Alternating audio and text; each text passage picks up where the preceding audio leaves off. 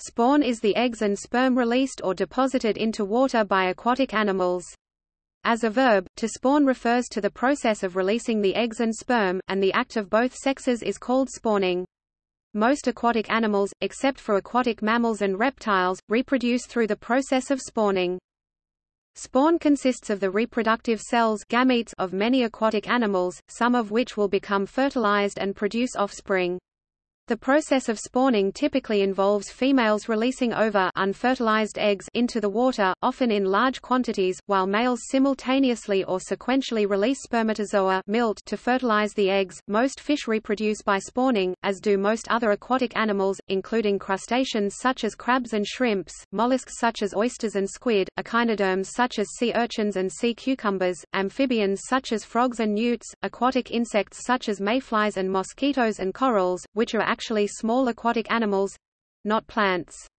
Fungi, such as mushrooms, are also said to spawn a white, fibrous matter that forms the matrix from which they grow. There are many variations in the way spawning occurs, depending on sexual differences in anatomy, how the sexes relate to each other, where and how the spawn is released and whether or how the spawn is subsequently guarded.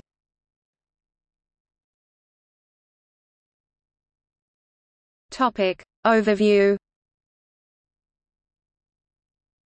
Marine animals, and particularly bony fish, commonly reproduce by broadcast spawning.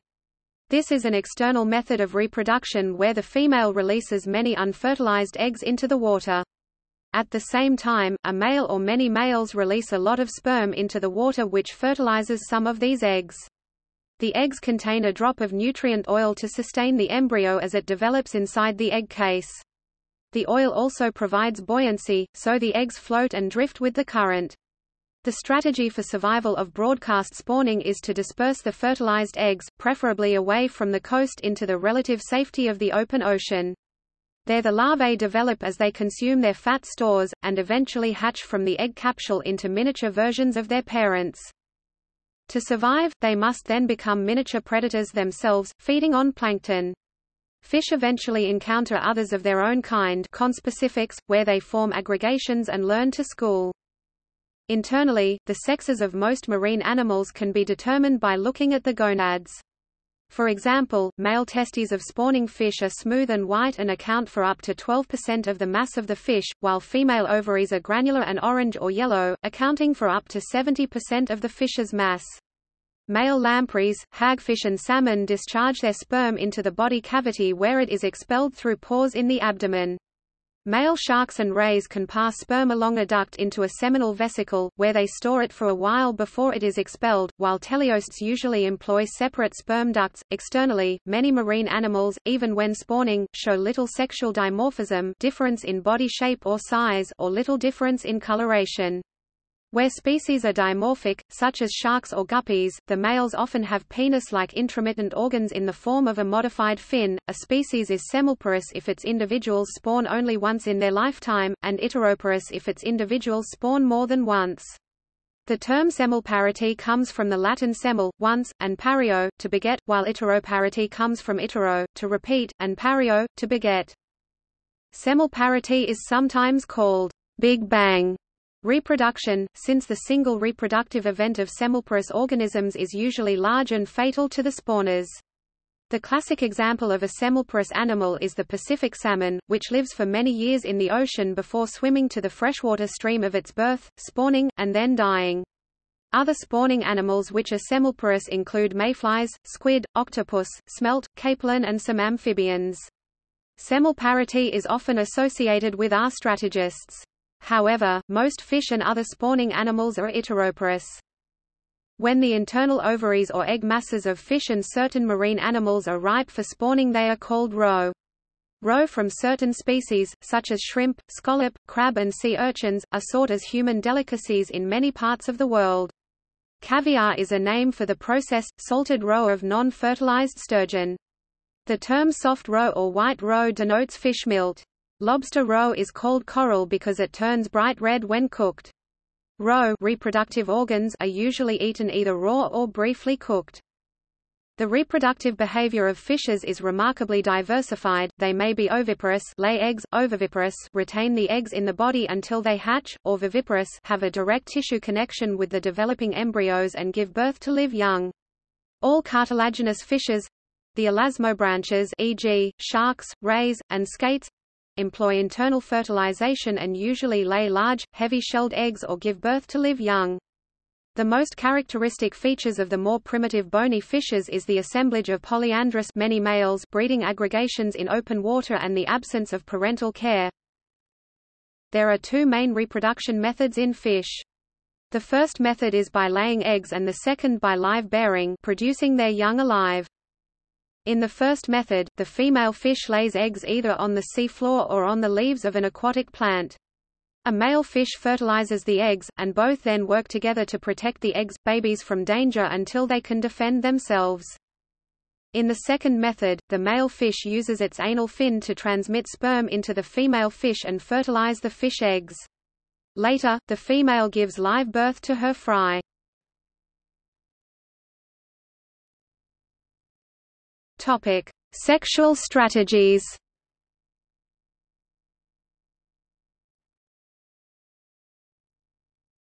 Topic: Basic strategies. Monogamy occurs when one male mates with one female exclusively. This is also called pair spawning. Most fish are not monogamous, and when they are, they often alternate with non-monogamous behaviors. Monogamy can occur when feeding and breeding grounds are small, when it is difficult for fish to find partners, or when both sexes look after the young. Many tropical cichlids, which rear their young together in locations where they must fiercely defend against competitors and predators are monogamous. In some pipefishes and seahorses, development of eggs takes a long time before the female can place them in the brood pouch of a male, where they are fertilized.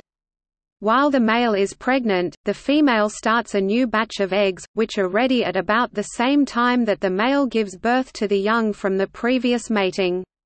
This close timing of development promotes monogamy, especially if the likelihood of encountering another potential mate is low. Polygyny occurs when one male gets exclusive mating rights with multiple females. In polygyny a large conspicuous male usually defends females from other males or defends a breeding site. The females choose large males that are successfully defending prime breeding sites which the females find attractive. For example, sculpin males defend caves underneath rocks which are suitable for the incubation of embryos.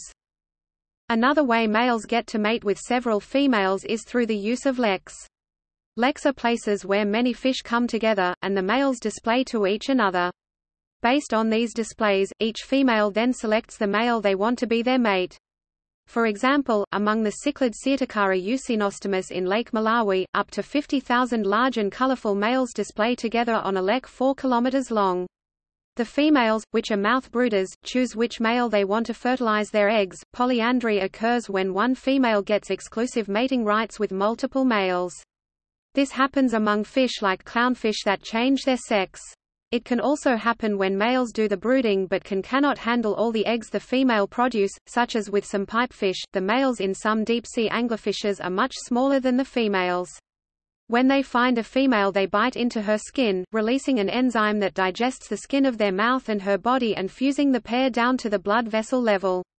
The male then slowly atrophies, losing first his digestive organs, then his brain, heart, and eyes, ending as nothing more than a pair of gonads, which release sperm in response to hormones in the female's bloodstream indicating egg release. This ensures that, when the female is ready to spawn, she has a mate immediately available. A single anglerfish female can mate with many males in this manner. Polygynandry occurs when multiple males mate indiscriminately with multiple females. This mutual promiscuity is the approach most commonly used by spawning animals, and is perhaps the original fish mating system. Common examples are forage fish, such as herrings, which form huge mating shoals in shallow water. The water becomes milky with sperm and the bottom is draped with millions of fertilized eggs.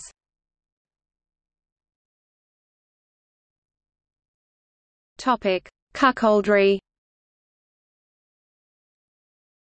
Alternate male strategies which allow small males to engage in cuckoldry can develop in species where spawning is dominated by large and aggressive males. Cuckoldry is a variant of polyandry, and can occur with sneak spawners sometimes called streak spawners. A sneak spawner is a male that rushes in to join the spawning rush of a spawning pair. A spawning rush occurs when a fish makes a burst of speed, usually on a near vertical incline, releasing gametes at the apex, followed by a rapid return to the lake or sea floor or fish aggregation. Sneaking males do not take part in courtship. In salmon and trout, for example, jack males are common.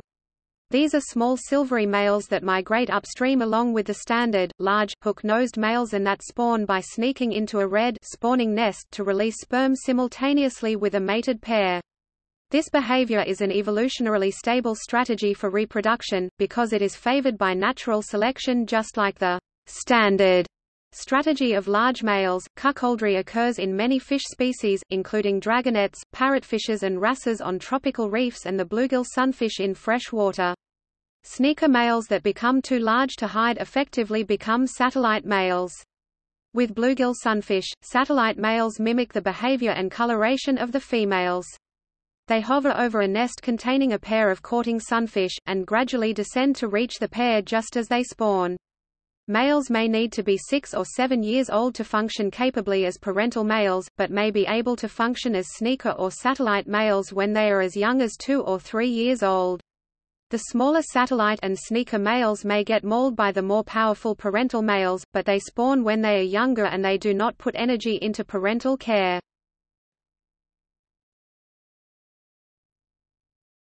Topic: Hermaphroditism. Hermaphroditism occurs when a given individual in a species possesses both male and female reproductive organs, or can alternate between possessing first one, and then the other. Hermaphroditism is common in invertebrates but rare in vertebrates. It can be contrasted with gonochorism, where each individual in a species is either male or female, and remains that way throughout their lives. Most fish are gonochorists, but hermaphroditism is known to occur in 14 families of teleost fishes. Usually hermaphrodites are sequential, meaning they can switch sex, usually from female to male protogyny. This can happen if a dominant male is removed from a group of females. The largest female in the harem can switch sex over a few days and replace the dominant male. This is found amongst coral reef fishes such as groupers, parrotfishes and wrasses. It is less common for a male to switch to a female protandry. As an example, most wrasses are protogynous hermaphrodites within a haremic mating system. Hermaphroditism allows for complex mating systems. Wrasses exhibit three different mating systems, polygynous, lek-like, and promiscuous mating systems. Group spawning and pair spawning occur within mating systems. The type of spawning that occurs depends on male body size. Labroids typically exhibit broadcast spawning, releasing high amounts of planktonic eggs, which are broadcast by tidal currents. Adult wrasses have no interaction with offspring. Wrasse of a particular subgroup of the family Labridae, Labrini, do not exhibit broadcast spawning. Less commonly hermaphrodites can be synchronous, meaning they simultaneously possess both ovaries and testicles and can function as either sex at any one time. Black hamlets take turns releasing sperm and eggs during spawning. Because such egg trading is advantageous to both individuals, hamlets are typically monogamous for short periods of time an unusual situation in fishes.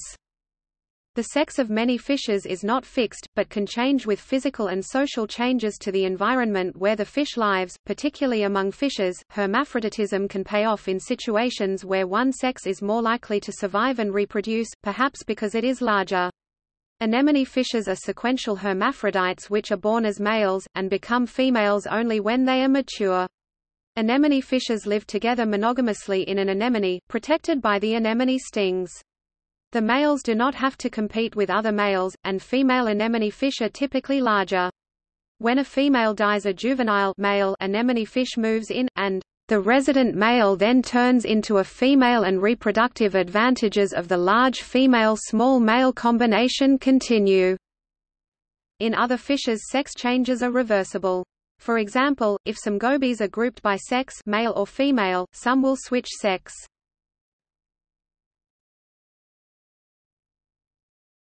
Topic: Unisexuality. Unisexuality occurs when a species is all male or all female. Unisexuality occurs in some fish species, and can take complex forms. Squalius alburnoides, a minnow found in several river basins in Portugal and Spain, appears to be an all-male species.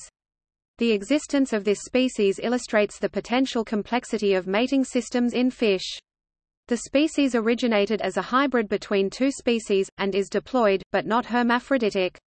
It can have triploid and tetraploid forms, including all female forms that reproduce mainly through hybridogenesis. It is rare to find true parthenogenesis in fishes, where females produce female offspring with no input from males. All female species include the Texas silverside, Menidia clarkhubbsi as well as a complex of Mexican mollies. Parthenogenesis has been recently observed in hammerhead sharks and blacktip sharks. It is also known to occur in crayfish and amphibians.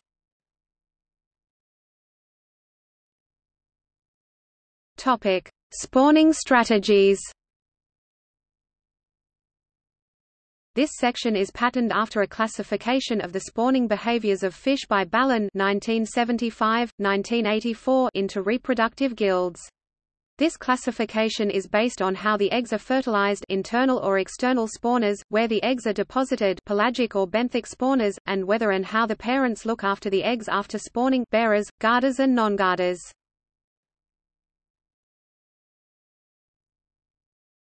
Topic: Non-guarders. Non-guarders do not protect their eggs and offspring after spawning. Topic: Open substrate spawners. Open substrate spawners scatter their eggs in the environment.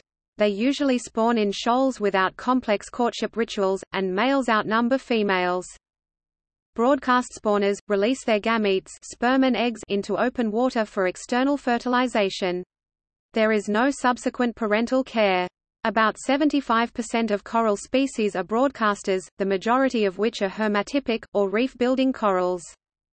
Pelagic spawners, a type of broadcast spawners, spawn in the open sea, mostly near the surface. They are usually pelagic fish such as tuna and sardines. Some demersal fish leave the bottom to spawn pelagically, particularly coral reef fish such as parrotfish and wrasses. Pelagic spawning means water currents widely disperse the young. The eggs, embryos and larvae of pelagic spawners contain oil globules or have a high water content. As a result, they are buoyant and are widely dispersed by currents. The downside is that mortality is high, because they can be eaten so easily by pelagic predators or they can drift into unsuitable areas. Females compensate by spawning large numbers of eggs and extending their spawning periods. Pelagic spawners that live in or around coral reefs can spawn a small number of eggs almost daily over a period of months. These fishes have complex breeding behaviors including sex changes, harems, leks and territoriality. See also, coral reef fish. Benthic spawners, deposit their spawn on or near the bottom of the sea or lake. They are usually demersal fish such as cod and flatfish. These species typically spawn without ceremony, they do not engage in elaborate courtship rituals. Each female is usually followed by several males who fertilize the eggs as they are released. Various strategies ensure the eggs and embryos remain in place, and do not drift with the current. The eggs can adhere to other eggs or to whatever they are deposited on, or the eggs can be laid in long strings which are wrapped around plants or rocks. Some eggs take on water after they are released, so they can be dropped into cracks where they swell and wedge themselves in place. Egg scatterers, scatter adhesive or non-adhesive eggs to fall to the substrate, into plants, or float to the surface. These species do not look after their brood and even eat their own eggs. These are often schooling fish which spawn in groups or pairs, often laying a large number of small eggs. The fry hatch quickly. Egg depositors, deposit eggs on a substrate tank glass, wood, rocks, plants. Egg depositors usually lay fewer eggs than egg scatterers, although the eggs are larger. Egg depositors fall into two groups, those that care for their eggs, and those that do not. Among egg depositors that care for their eggs are cichlids and some catfish. Egg depositors that care for their young can be divided into two groups, cavity spawners and open spawners. Cavity spawners, lay eggs in a cave or cavity. These fish form pairs and have advanced brood care where the eggs are defended and cleaned. The eggs take a few days to hatch, and the fry are often guarded by the parents. Various catfish, cyprinidae, and killifish make up the majority. Cavity spawners can be contrasted with open shelter spawners, which lay their eggs on an open surface. Topic: Brood hiders. Brood hiders hide their eggs but do not give parental care after they have hidden them. Brood hiders are mostly benthic spawners that bury the fertilized eggs. For example, among salmon and trout the female digs a nest with her tail in gravel. These nests are called redds.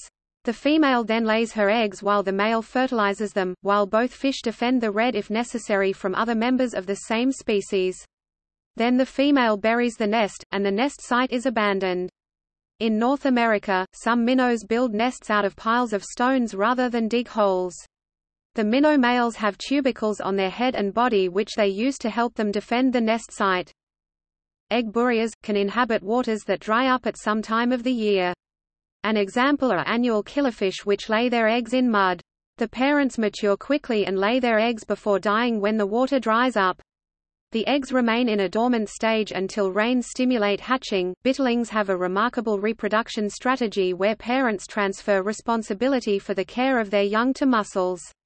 The female extends her ovipositor into the mantle cavity of the mussel and deposits her eggs between the gill filaments.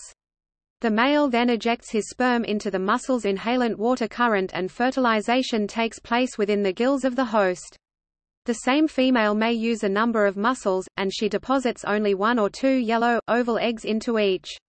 Early developmental stages are protected from predation within the body of the mussel. After three to four weeks larvae swim away from the host to continue life on their own.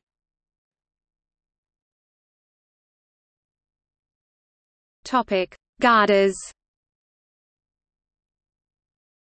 Guarders protect their eggs and offspring after spawning by practicing parental care also called brood care. Parental care is an investment by parents in offspring that increases the offspring's chances of surviving and hence reproducing. In fish, parental care can take a variety of forms including guarding, nest building, fanning, splashing, removal of dead eggs, retrieval of straying fry, external egg carrying, egg burying, moving eggs or young, ectodermal feeding, oral brooding, internal gestation, brood pouch egg carrying, etc.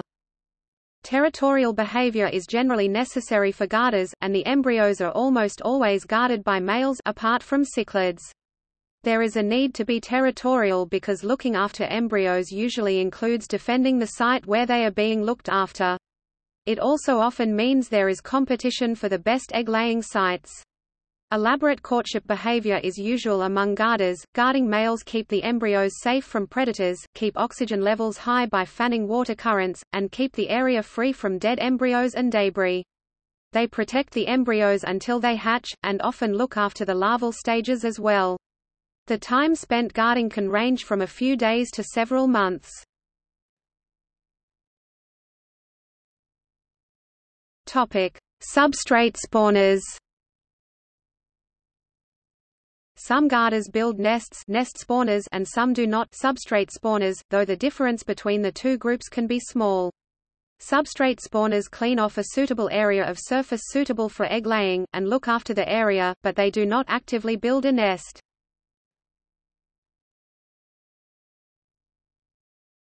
Topic: Bearers. Bearers are fish that carry their embryos and sometimes their young around with them, either externally or internally. Topic: External bearers. Mouth brooders carry eggs or larvae in their mouth. Mouth brooders can be ovophiles or larvophiles.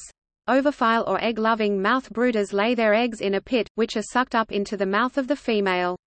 The small number of large eggs hatch in the mother's mouth, and the fry remain there for a period of time.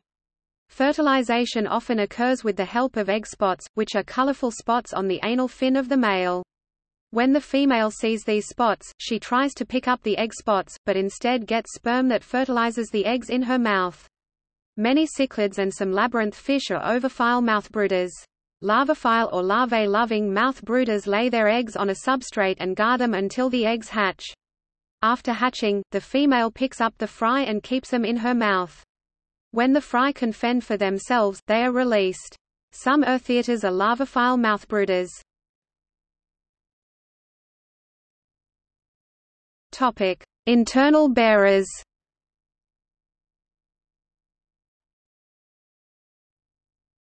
Topic: Facultative internal bearers. The beginning of the evolutionary process of live bearing starts with facultative optional internal bearing.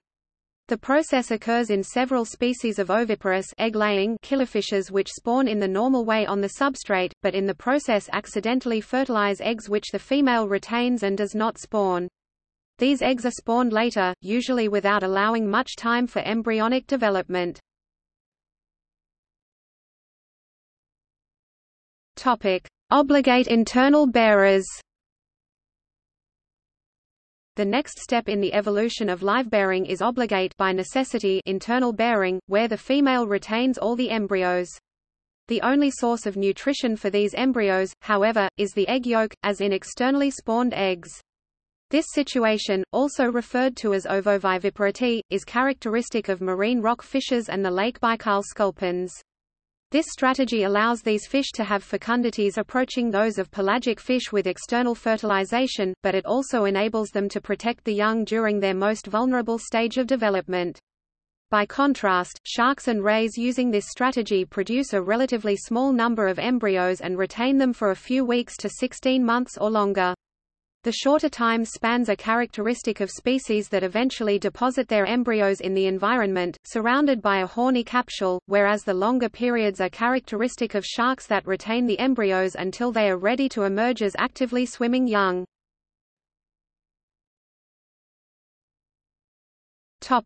Viviparous fish. However, some fish do not fit these categories. The live-bearing largespring gambusia, gambusia geiseri was thought to be ovoviviparous until it was shown in 2001 that the embryos received nutrients from the mother.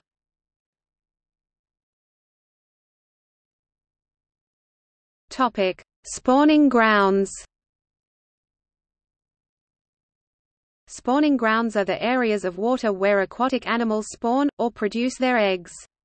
After spawning, the spawn may or may not drift to new grounds which become their nursery grounds.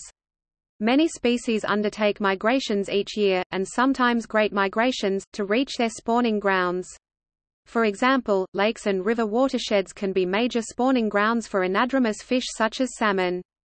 These days, it is often necessary to construct fish ladders and other bypass systems so salmon can navigate their way past hydroelectric dams or other obstructions such as weirs on their way to spawning grounds. Coastal fish often use mangroves and estuaries as spawning grounds, while reef fish can find adjacent seagrass meadows that make good spawning grounds. Short-finned eels can travel anything up to 3 or 4,000 kilometers to their spawning ground in deep water somewhere in the Coral Sea. Forage fish often make great migrations between their spawning, feeding and nursery grounds. Schools of a particular stock usually travel in a triangle between these grounds. For example, one stock of herrings have their spawning ground in southern Norway, their feeding ground in Iceland, and their nursery ground in northern Norway. Wide triangular journeys such as these may be important because forage fish, when feeding, cannot distinguish their own offspring. Capelin are a forage fish of the smelt family found in the Atlantic and Arctic Oceans. In summer, they graze on dense swarms of plankton at the edge of the ice shelf. Larger capelin also eat krill and other crustaceans. The capelin move inshore in large schools to spawn and migrate in spring and summer to feed in plankton-rich areas between Iceland, Greenland, and Jan Mayen. The migration is affected by ocean currents. Around Iceland maturing capelin make large northward feeding migrations in spring and summer. The return migration takes place in September to November. The spawning migration starts north of Iceland in December or January. The diagram on the right shows the main spawning grounds and larval drift routes.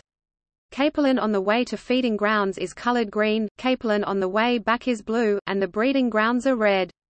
In a paper published in 2009, researchers from Iceland recount their application of an interacting particle model to the capelin stock around Iceland, successfully predicting the spawning migration route for 2008, referred to as the greatest shoal on Earth. The sardine run occurs when millions of sardines migrate from their spawning grounds south of the southern tip of Africa northward along the eastern Cape coastline. Chinook salmon make the longest freshwater migration of any salmon, over 3,000 kilometers (1,900 miles) up the Yukon River to spawning grounds upstream of Whitehorse, Yukon. Some green sea turtles swim more than 2,600 kilometers (1,600 miles) to reach their spawning grounds.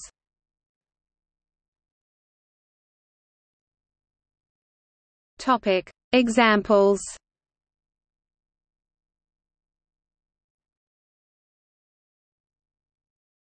Topic: Fish.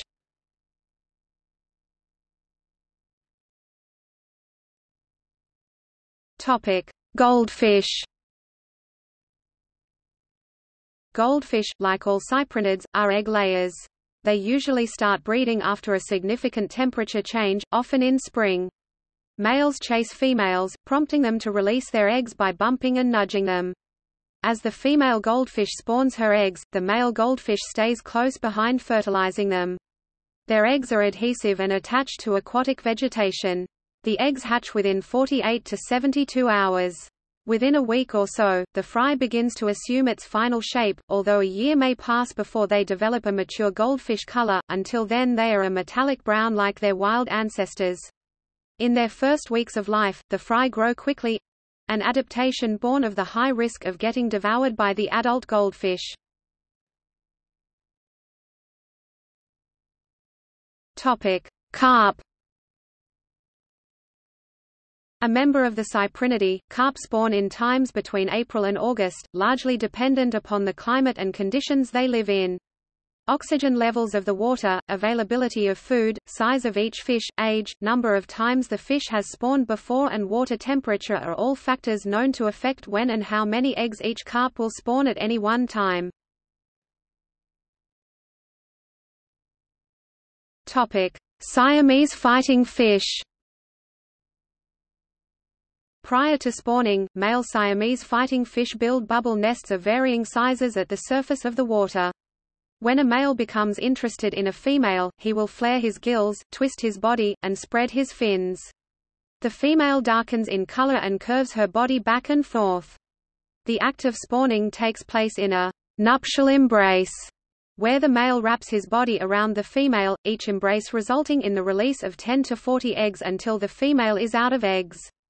The male, from his side, releases milt into the water and fertilization takes place externally.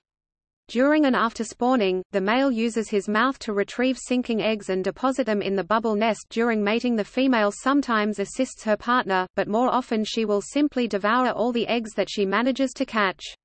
Once the female has released all of her eggs, she is chased away from the male's territory, as it is likely that she'll eat the eggs due to hunger. The eggs then remain in the male's care. He keeps them in the bubble nest, making sure none fall to the bottom and repairing the nest as needed. Incubation lasts for 24 to 36 hours, and the newly hatched larvae remain in the nest for the next two to three days, until their yolk sacs are fully absorbed. Afterwards the fry leave the nest and the free swimming stage begins.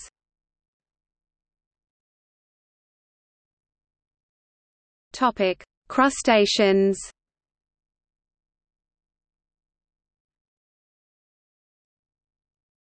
Topic: Copepods. Copepods are tiny crustaceans which usually reproduce either by broadcast spawning or by sac spawning. Broadcasting copepods scatter their eggs into the water, but sac spawners lay their eggs into an ovigerous sac. Sac spawners spawn few but relatively large eggs that develop slowly. By contrast, broadcast spawners spawn numerous small eggs that develop rapidly. However, the shorter hatch times that result from broadcasting are not short enough to compensate for the higher mortality compared to sac spawners. To produce a given number of hatched eggs, broadcasters must spawn more eggs than sac spawners. Topic: Spiny lobsters. After mating, the fertilized eggs of the California spiny lobster are carried on the female's pleopods until they hatch, with between 120,000 and 680,000 carried by a single female. The eggs begin coral red, but darken as they develop to a deep maroon. When she is carrying the eggs, the female is said to be berried. The eggs are ready to hatch after 10 weeks, and spawning takes place from May to August. The larvae that hatch called phyllosoma larvae do not resemble the adults. Instead, they are flat, transparent animals around 14 mm (0.55 in) long, but as thin as a sheet of paper. The larvae feed on plankton, and grow through 10 molts into 10 further larval stages, the last of which is around 30 to 32 mm (1.2 to 1.3 in) long. The full series of larval molts takes around seven months, and when the last stage molts, it metamorphoses into the puerulus state, which is a juvenile form of the adult, though still transparent. The puerulus larvae settle to the sea floor when the water is near its maximum temperature, which in Baja California is in the fall. Egg-bearing female lobsters migrate inshore from deeper waters to hatch their eggs, though they do not have specific spawning grounds. These lobster migrations can occur in close single-file formation, lobster trains.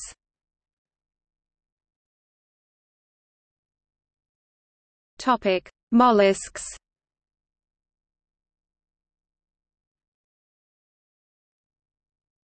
Topic: Pacific oysters. Oysters are broadcast spawners, that is, eggs and sperm are released into open water where fertilization occurs. They are protandric, during their first year they spawn as males by releasing sperm into the water. As they grow over the next two or three years and develop greater energy reserves, they spawn as females by releasing eggs. Bay oysters usually spawn by the end of June.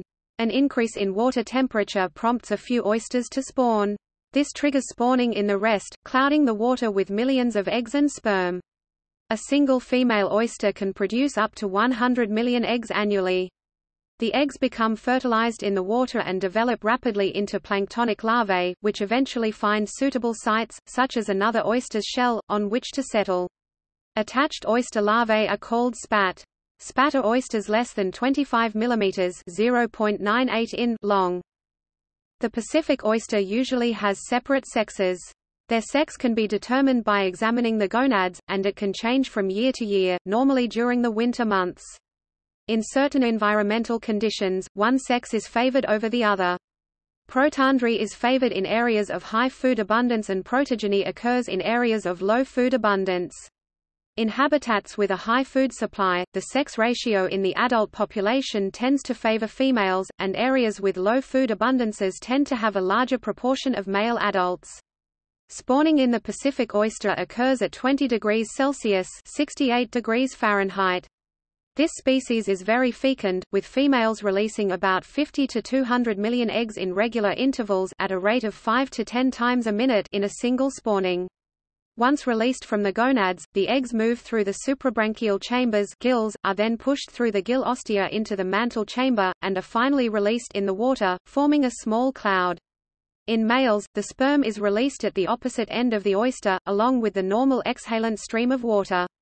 A rise in water temperature is thought to be the main cue in the initiation of spawning, as the onset of higher water temperatures in the summer results in earlier spawning in the Pacific oyster. The larvae of the Pacific oyster are planktotrophic, and are about 70 micrometers at the prodissoconch 1 stage. The larvae move through the water column via the use of a larval foot to find suitable settlement locations. They can spend several weeks at this phase, which is dependent on water temperature, salinity and food supply. Over these weeks, larvae can disperse great distances by water currents before they metamorphose and settle as small spat. Similar to other oyster species, once the Pacific oyster larvae find a suitable habitat, they attach to it permanently using cement secreted from a gland in their foot. After settlement, the larvae metamorphose into juvenile spat. The growth rate is very rapid in optimum environmental conditions, and market size can be achieved in 18 to 30 months. Topic: Cephalopods. Cephalopods, such as squid and octopuses, have prominent heads and a set of arms tentacles modified from the primitive foot of mollusks. All cephalopods are sexually dimorphic. However, they lack external sexual characteristics, so they use color communication. A courting male approaches a likely-looking mate flashing his brightest colors, often in rippling displays. If the other cephalopod is female and receptive, her skin will change color to become pale, and mating will occur. If the other cephalopod remains brightly colored, it is taken as a warning. All cephalopods reproduce by spawning eggs. Most cephalopods use semi-internal fertilization where the male places his gametes inside the female's mantle cavity to fertilize the ova in the female's single ovary. The penis in most male cephalopods is a long and muscular end of the gonoduct used to transfer spermatophores to a modified sperm-carrying arm called a hectocotylus. That in turn is used to transfer the spermatophores to the female. In species where the hectocotylus is missing, the penis is long and able to extend beyond the mantle cavity and transfers the spermatophores directly to the female. In many cephalopods, mating occurs head-to-head -head and the male may simply transfer sperm to the female. Others may detach the sperm-carrying arm and leave it attached to the female. Deep water squid have the greatest known penis length relative to body size of all mobile animals, second in the entire animal kingdom only to certain sessile barnacles. Penis elongation in the greater hooked squid may result in a penis that is as long as the mantle, head and arms combined. Some species brood their fertilized eggs. Female paper nautilus construct shelters for the young, while gonatid squid carry a larva-laden membrane from the hooks on their arms. Other cephalopods deposit their young under rocks and aerate them with their tentacles hatching. Mostly the eggs are left to their own devices. Many squid lay sausage-like bunches of eggs in crevice or occasionally on the sea floor. Cuttlefish lay eggs separately in cases and attach them to coral or algal fronds. Like Pacific salmon, cephalopods are mostly semelparous, spawning many small eggs in one batch and then dying. Cephalopods usually live fast and die young. Most of the energy extracted from their food is used for growing, and they mature rapidly to their adult size. Some gain as much as 12% of their body mass each day. Most live for one to two years, reproducing and then dying shortly thereafter.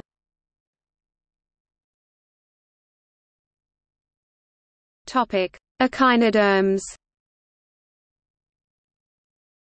Echinoderms are marine animals, widespread in all oceans, but not found in fresh water. Just below their skin is an endoskeleton composed of calcareous plates or ossicles.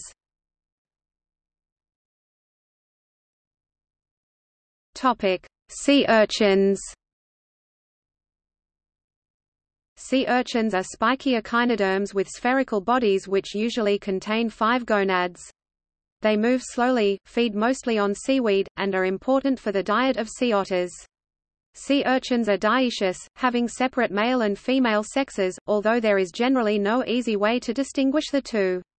The gonads are lined with muscles underneath the peritoneum, and these allow the animal to squeeze its gametes through the duct and into the surrounding sea water, where fertilization takes place. Their roe male and female gonads is soft and melting, with a color ranging from orange to pale yellow, and is sought after as a human delicacy in many parts of the world.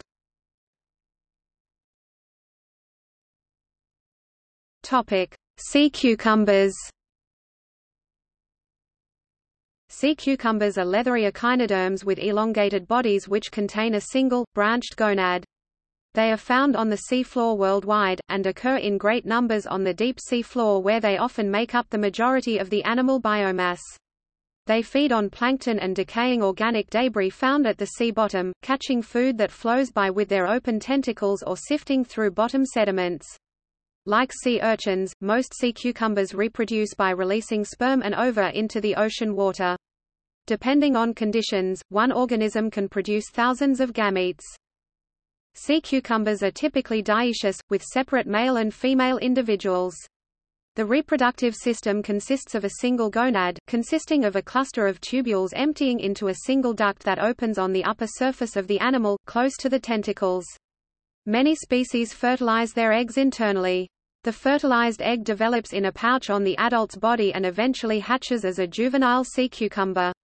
A few species brood their young inside the body cavity, giving birth through a small rupture in the body wall close to the anus. The remaining species develop their eggs into a free-swimming larva, usually after about three days of development. This larva swims by means of a long band of cilia wrapped around its body. As the larva grows it transforms into a barrel-shaped body with three to five separate rings of cilia. The tentacles are usually the first adult features to appear, before the regular tube feet.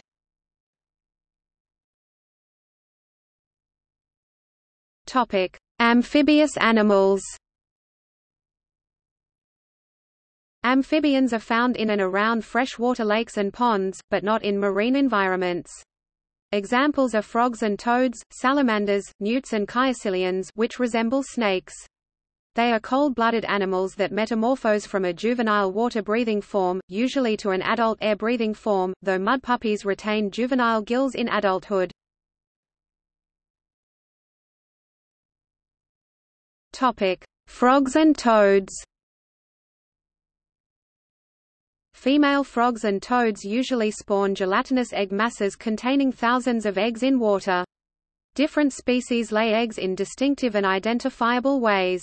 For example, the American toad lays long strings of eggs. The eggs are highly vulnerable to predation, so frogs have evolved many techniques to ensure the survival of the next generation. In colder areas the embryo is black to absorb more heat from the sun, which speeds up development. Most commonly, this involves synchronous reproduction. Many individuals will breed at the same time, overwhelming the actions of predators. The majority of the offspring will still die due to predation, but there is a greater chance some will survive. Another way in which some species avoid predators and the pathogens eggs are exposed to in ponds is to lay eggs on leaves above the pond, with a gelatinous coating designed to retain moisture. In these species the tadpoles drop into the water upon hatching. The eggs of some species laid out of water can detect vibrations of nearby predatory wasps or snakes, and will hatch early to avoid being eaten. While the length of the egg stage depends on the species and environmental conditions, aquatic eggs generally hatch within one week. Unlike salamanders and newts, frogs and toads never become sexually mature while still in their larval stage. The hatched eggs continue life as tadpoles, which typically have oval bodies and long, vertically flattened tails. As a general rule, free-living larvae are fully aquatic. They lack eyelids and have a cartilaginous skeleton, a lateral line system, gills for respiration external gills at first, internal gills later and tails with dorsal and ventral folds of skin for swimming. They quickly develop a gill pouch that covers the gills and the front legs. The lungs are also developed at an early stage as an accessory breathing organ. Some species which go through the metamorphosis inside the egg and hatch to small frogs never develop gills, instead there are specialized areas of skin that take care of respiration. Tadpoles also lack true teeth, but the jaws in most species usually have two elongate, parallel rows of small keratinized structures called keradonts in the upper jaw while the lower jaw has three rows of keradonts, surrounded by a horny beak, but the number of rows can be lower sometimes zero, or much higher. Tadpoles feed on algae, including diatoms filtered from the water through the gills. Some species are carnivorous at the tadpole stage, eating insects, smaller tadpoles, and fish. Cannibalism has been observed among tadpoles. Early developers who gain legs may be eaten by the others, so the late bloomers survive longer. Topic: Sea turtles. Sea turtles are amphibious reptiles, but they are not amphibians. Reptiles belong to the class Reptilia while amphibians belong to the class Amphibia. These are two distinct taxonomic groups. Reptiles have scales and leathery skins, while the skins of amphibians are smooth and porous. Unlike frogs, sea turtle eggs have tough, leathery shells which allow them to survive on land without drying out. Some sea turtles migrate long distances between feeding and spawning grounds. Green turtles have feeding grounds along the Brazilian coast. Each year, thousands of these turtles migrate about 2,300 kilometers (1,400 miles) to their spawning ground, Ascension Island in the Atlantic, an island only 11 kilometers (6.8 miles) across. Each year the returning turtles dig between 6,000 and 15,000 nests, often returning to the same beach from where they hatched. Females usually mate every two to four years. Males on the other hand visit the breeding areas every year, attempting to mate. Green sea turtles mating is similar to other marine turtles. Female turtles control the process. A few populations practice polyandry, although this does not seem to benefit hatchlings. After mating in the water, the female moves above the beach's high tide line where she digs a hole with her hind flippers and deposits her eggs. Litter size depends on the age of the female and species, but green turtle clutches range between 100 and 200. She then covers the nest with sand and returns to the sea. At around 45 to 75 days, the eggs hatch during the night and the hatchlings instinctively head directly into the water. This is the most dangerous time in a turtle's life. As they walk, predators such as gulls and crabs grab them. A significant percentage never make it to the ocean. Little is known of the initial life history of newly hatched sea turtles. Juveniles spend three to five years in the open ocean before they settle as still immature juveniles into their permanent shallow water lifestyle. It is speculated that they take 20 to 50 years to reach sexual maturity. Individuals live up to 80 years in the wild. They are among the larger sea turtles, many more than a meter long and weighing up to 300 kilograms 660 pounds.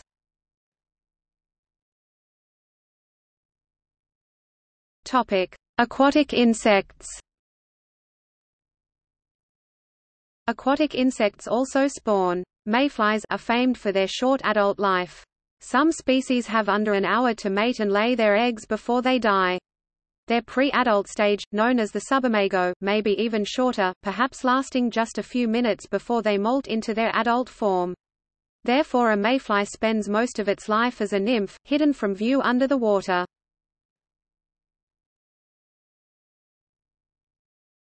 Topic: Corals.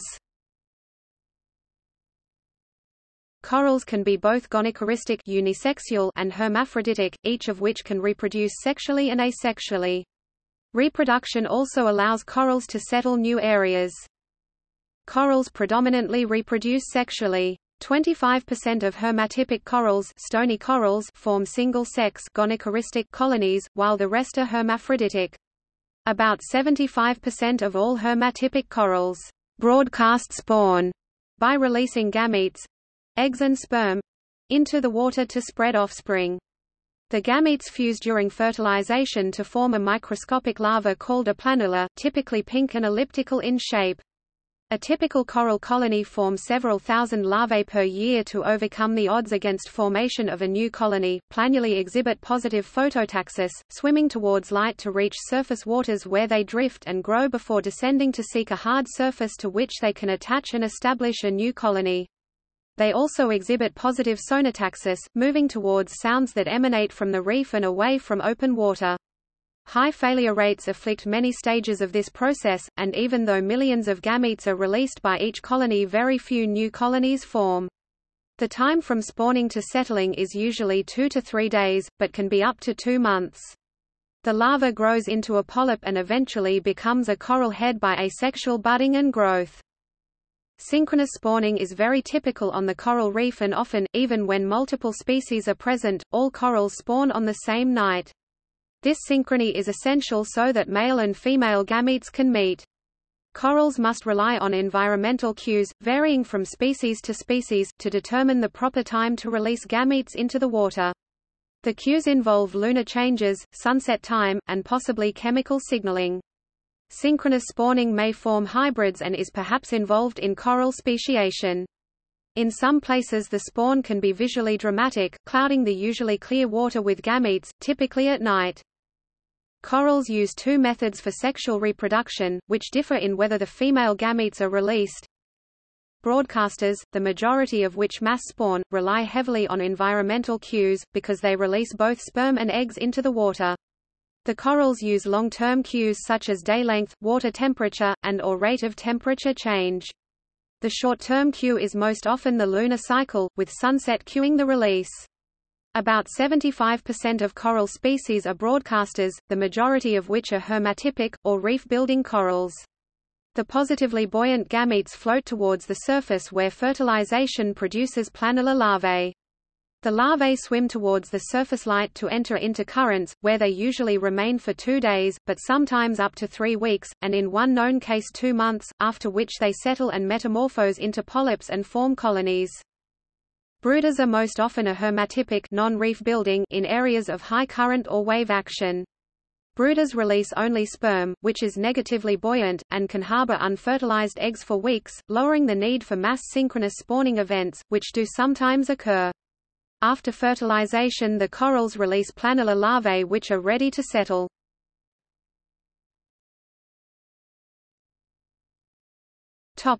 Fungi Fungi are not plants, and require different conditions for optimal growth. Plants develop through photosynthesis, a process that converts atmospheric carbon dioxide into carbohydrates, especially cellulose. While sunlight provides an energy source for plants, mushrooms derive all of their energy and growth materials from their growth medium, through biochemical decomposition processes. This does not mean that light is an unnecessary requirement, since some fungi use light as a signal to induce fruiting. However, all the materials for growth must already be present in the growth medium. Instead of seeds, mushrooms reproduce sexually during underground growth, and asexually through spores. Either of these can be contaminated with airborne microorganisms, which will interfere with mushroom growth and prevent a healthy crop.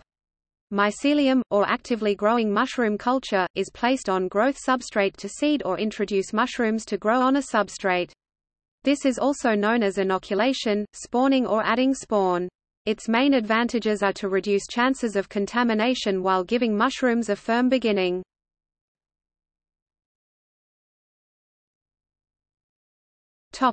Gallery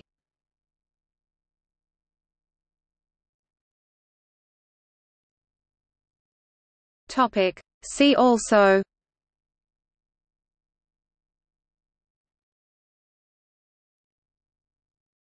Topic. Notes.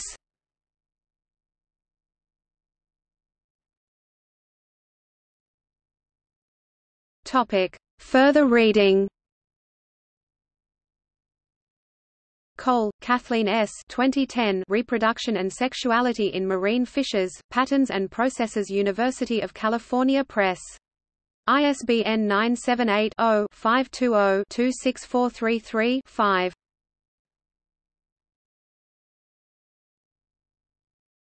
Topic: External links. Reproduction FAO, Rome